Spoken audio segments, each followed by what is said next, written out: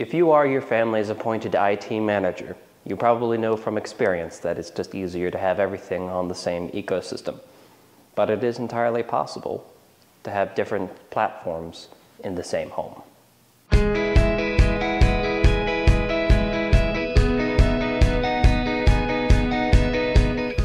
Truth is, most of us probably aren't working with single ecosystem homes.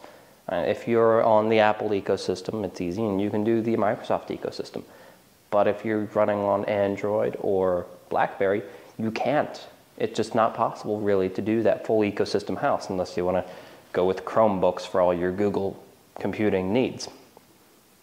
But with services like Dropbox and Evernote and the like, it's entirely possible to run a multi-platform home smoothly and easily.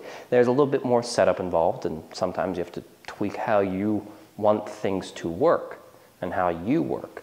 But it is possible, it's even plausible, to run your home with multiple platforms. You can have an Android phone and a Windows computer and a Sony entertainment console, gaming console on your TV.